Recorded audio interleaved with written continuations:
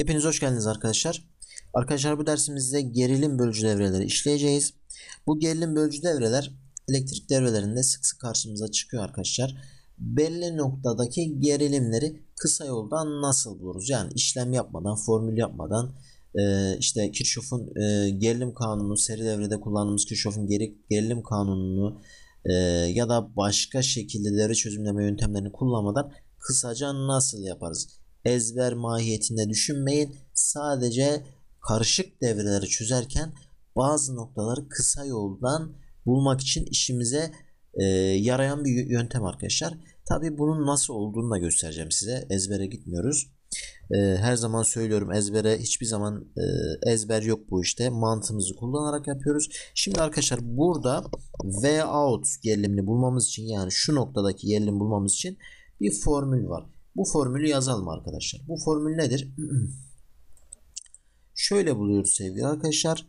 Ee, V out bakın V out şu noktada gerilim V out gerilimi şöyle yapıyoruz. V out eşittir R2 bölü R2 bölü R2 artı R1 R2 artı R1 çarpı V input. İşte gerilim bölücü devre budur. Ben istediğim bir noktadaki, istediğim bir yerdeki gerilimi işte bu yöntemle bulabiliyorum arkadaşlar.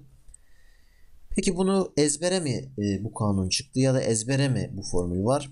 Arkadaşlar bu formül ezbere bir formül değil. Yani ezberleyebileceğimiz bir şey değil. E, çok derinlemesi. Sadece e, şu şekilde çıkış yolu bu şekildedir. Şuradan bir akım geçer.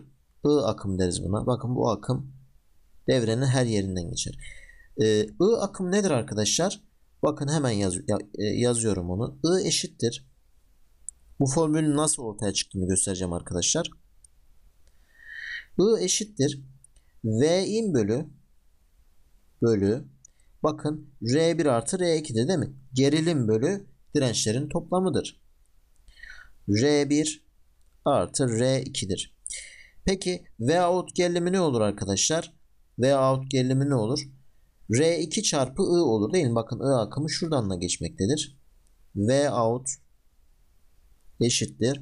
R2 çarpı I'dır. O zaman I zaten nedir arkadaşlar?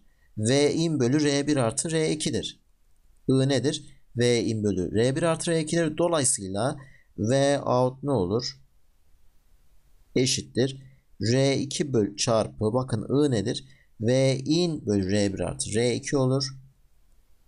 V in bölü R1 artı R2 olur. Bakın işte bu formül gördüğünüz gibi bu formülle aynı eşitliğe sahiptir. Bizim gerilim bölücü formülümüz ortaya çıktı. Zaten bu da nasıl yazılır arkadaşlar? V R2 ile V in'i yer değiştirirsek yukarıdaki formülü elde etmiş oluruz. V out eşittir.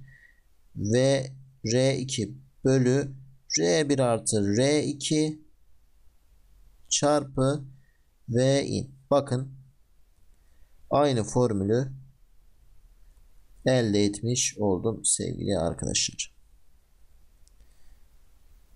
İki formülümüzde aynı. Yani şunun şuradaki V out'u nasıl bulduğumu gösterdim arkadaşlar. Şimdi başka bir örnek yapalım sevgili arkadaşlar. E, şunu da belirtmek isterim ki bunu hani e, şu şekilde yapmasanız da benim e, şu ezberlemeyip de şu benim gösterdiğim şekilde yapsanız da olur sevgili arkadaşlar. Değişen bir şey yok. Mantık e, aynı. Mantığımız aynı. E, dediğim gibi sadece işte bunu karmaşık devrelerde sıkça kullanıyoruz arkadaşlar. Hani bilmenizde fayda var diye düşünüyorum. Bakın sevgili arkadaşlar e, şekilde yine bir örnek e, devremiz yer almaktadır. Yine buradaki devremizde gerilim bölücü formülle nasıl bulabiliriz? Yani bizden e, V out gerilim bulmamız isteniyor. V out gerilim nedir sevgili arkadaşlar? Hemen yazalım. V out eşittir. Bakın R2 var burada. R2 bölü R1 artı R2 R1 artı R2 çarpı nedir?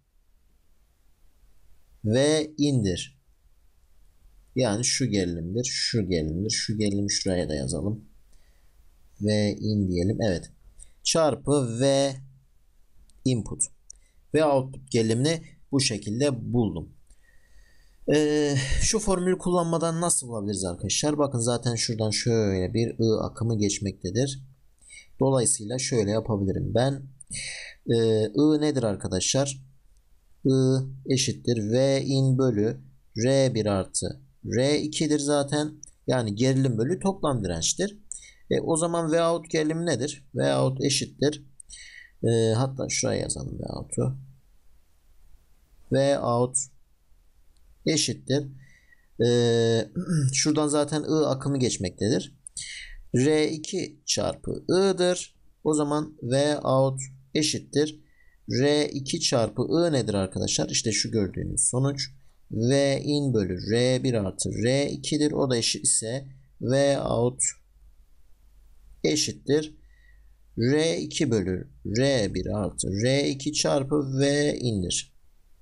İşte gördüğünüz gibi aynı sonucu ben ne yaptım arkadaşlar? Elde etmiş oldum. Çarpı V in bir saniye. V input'tur diyebiliriz. Gördüğünüz gibi bizim istediğimiz sonucu bakın elde ettik. Bir tane daha örnekle dersimizi bitirelim arkadaşlar.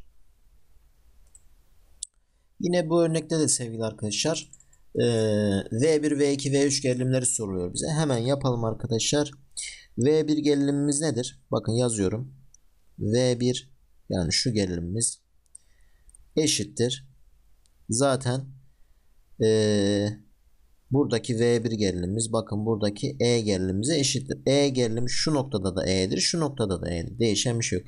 V1 nedir dolayısıyla? E1 gerilimine eşittir. V2 gerilim nedir sevgili arkadaşlar?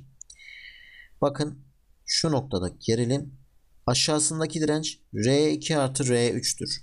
Dolayısıyla R2 artı R3 bölü 3 direncin toplamı R1 artı R2 artı R3 çarpı E1 E1 Şurada bir tane şase olsun.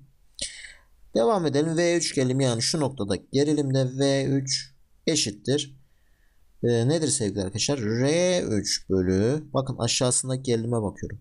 Yani şase ile ıı, istediğim noktada gerilim arasındaki direnç. R3 bölü R1 artı R2 artı R3 çarpı nedir? E1'dir. Bakın uzun, uza, uzun uzadıya formüller kullanmadan her 3 noktadaki direncimi ne yaptım? Bulmuş oldum. Evet.